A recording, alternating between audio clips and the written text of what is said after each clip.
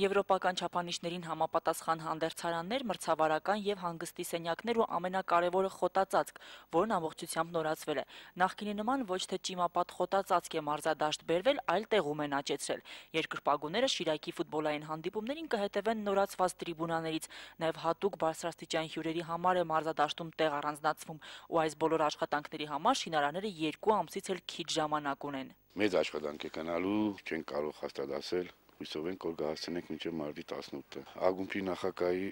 Արման Սահակյանի ցանկությունն է մինչև մարտի 18-ը առաջի խաղաթիմը խաղա Գյումրիում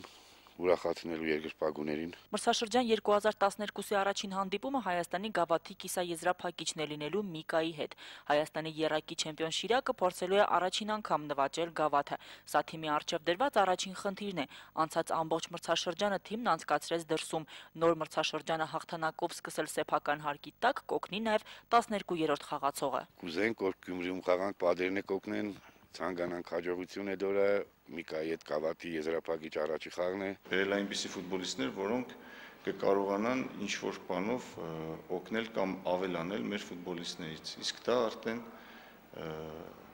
կնպաստի տեղի ֆուտբոլիստների աճին։ 1991-ից 99 թվականների Շիրակի հարցակվող Արա Ադամյանը խոսում է այն գործոնների մասին, որոնք կարող են Շիրակին հաջողություն բերել։ Նախ մարզումների համար լավ պայմաններ, ապա ֆուտբոլիստների հաջողված տրանսֆերներ։ Շիրակը օտարազգի 4 ֆուտբոլիստ է թիմ հրավիրել Սենեգալից եւ Ֆրանսիայի Լիոն քաղաքի UJA ակումբից։ UJA-ն թարգմանաբար նշանակում է հայերի ընդհանուր միություն։ Ակումբը 1923-ին հիմնել են Լիոնի հայերը։ Հիմա այն գլխավորում է ֆրանսիահայ հայտնի ֆուտբոլիստ Յուրի Ջորկայֆը։ Ֆրանս-հայկական ակումբի Շիրակի հետ համագործակցության առաջին արդյունքը Շիրակում փորձաշրջան անցնող երկու ֆուտբոլիստներն են։ Հունվարի 21-ից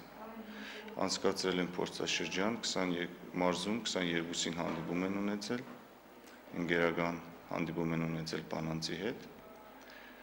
որում կոլեգինագ է դարձել ֆրանսիացի հարցակվող Ժան Լուին եւ մյուսը Ֆաբրիս Քյոզալը, որը հայկական արմատներ ունի, վատ տպավորություն չի թողել։ Ֆրանսիական ակումբի սաների կեսից ավելին հայկական ցակումով ֆրանսաբնակ երիտասարդներ են։ Ակումբի տեխնիկական տնօրենը չի բացառում, որ հետագայում նրանցից մի քանիսն էլ կհայտնվեն Շիրակում։ Լեգիոներները ցանկացած թիմում մրցակցություն են ստեղծում եւ նրանց կողքին տեղի ֆուտբոլիստներն էլ են ավելի լավ խաղում։ Դա ապացուցելու հնարավորություն Շիրակ թիմի ֆուտբոլիստներն ունեն մարտի 18-ին Միկայի հետ հանդիպմանը։ Լուսինե Հայրապետյան, Լևոն Խաչատրյան, Հորիզոն։